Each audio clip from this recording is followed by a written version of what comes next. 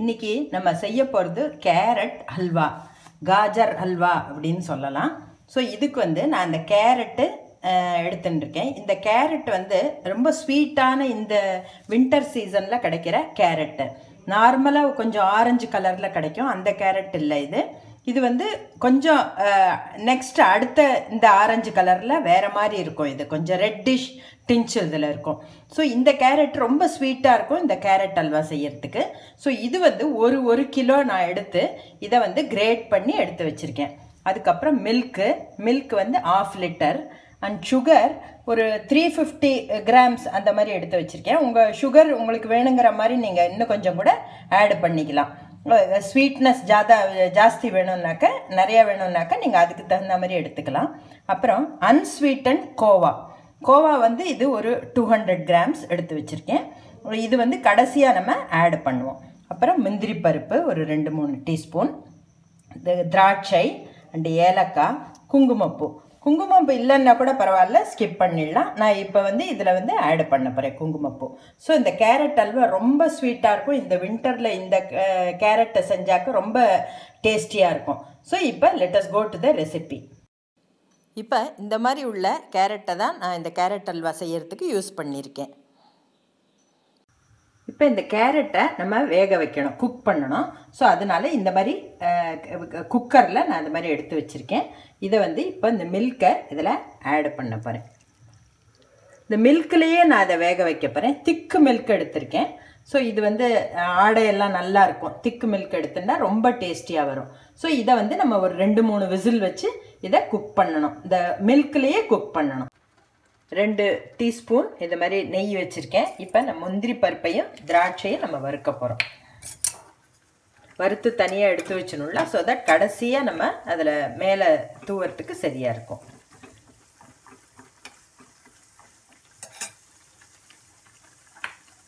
And திராட்சை.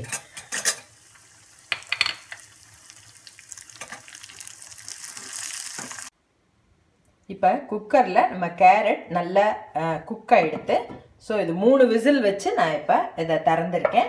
So இது வந்து இன்னும் கொஞ்சம் அந்த மில்க் அளவு உள்ளதெல்லாம் மில்க் வந்து நிறைய அதில் இருக்குது ஸோ இன்னும் கொஞ்சம் நம்ம அதை பாயில் பண்ணணும்.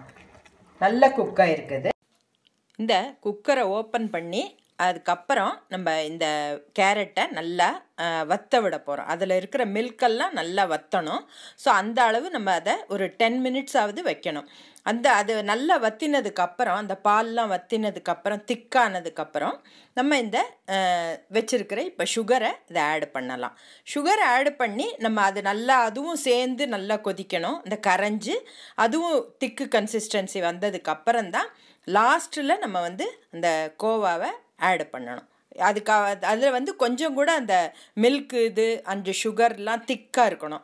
ஸோ அப்புறம் தான் கோவாவை நம்ம ஆட் பண்ண போகிறோம் இந்த சுகர் ஆட் பண்ணினதுக்கு அப்புறம் நம்ம ஆட் செஞ்சதுக்கு அப்புறம் இதில் வந்து நல்ல வாட்டராக இருந்தது. இப்போ நல்ல ஒரு ஃபைவ் மினிட்ஸ் கொதிக்க வச்சதுக்கப்புறம் நல்ல திக்கு கன்சிஸ்டன்சி திருப்பி வந்தாச்சு. இந்த சமயத்தில் நம்ம இந்த கோவாவை இதில் ஆட் பண்ணிடலாம்.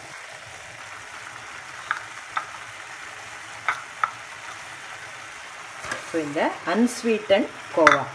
ஸோ இது எல்லாத்தையும் நம்ம இதில் போட்டுடலாம். ஸோ இது இப்போ இந்த கோவா போட்டதுக்கப்புறம் கொஞ்சம் நம்ம ஃப்ளேமை மீடியம் ஃப்ளேமில் வச்சுக்கணும். வச்சு அதை வந்து நல்லா மிக்ஸ் பண்ணி விடணும். அதுக்கப்புறம் இந்த ஏலக்காய் பொடி. அண்ட் குங்குமப்பூ. ஸோ இதெல்லாத்தையும் போட்டு நம்ம இதை நல்லா மிக்ஸ் பண்ணி விட்டுடலாம். இப்போ இந்த கோவாவை ஆட் பண்ணி நம்ம நல்லா இது ஒரு திக்கு நல்லா மிக்ஸ் மிக்ஸ் பண்ணி எடுத்து வச்சாச்சு. இதுக்கப்புறம் இதில் ஒரு ரெண்டு ரெண்டு மூணு டீஸ்பூன் நெய். இதை ஆட் பண்ணணும். கடைசியாக அதை ஆட் பண்ணினா போகிறோம் நிறைய நெய் வேண்டாம். ஸோ இதில் வந்து நான் உங்கள்கிட்ட ஒரு ஸ்பெஷலாக ஒன்று சொல்லணும். இந்த இந்த கேரட் அல்வா நம்ம செஞ்சதில் கொஞ்சம் கூட வாட்டரே கிடையாது.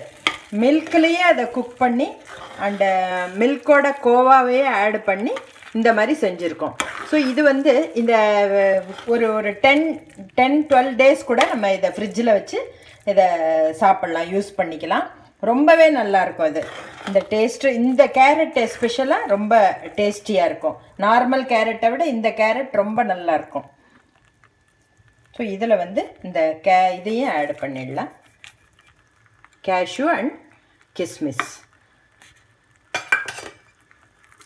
ஸோ இப்போ நம்ம கேரட் அல்வா ரெடி ஆகிடுத்து இதை நம்ம சர்விங் பவுலில் இப்போ ட்ரான்ஸ்ஃபர் பண்ணிடலாம்.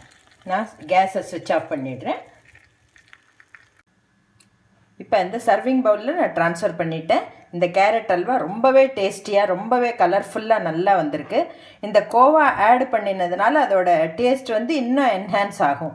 அன்ஸ்வீட்டன் கோவா நான் இதில் ஆட் பண்ணியிருக்கேன் ஸோ இந்த சீசன் ஜனவரி எண்டு வரைக்கும் தான் இந்த கேரட் கிடைக்கும். அதுக்கப்புறம் வந்து கிடைக்காது. நம்ம யூஷுவல் ஆரஞ்சு கலர் கேரட் கிடைக்கும்.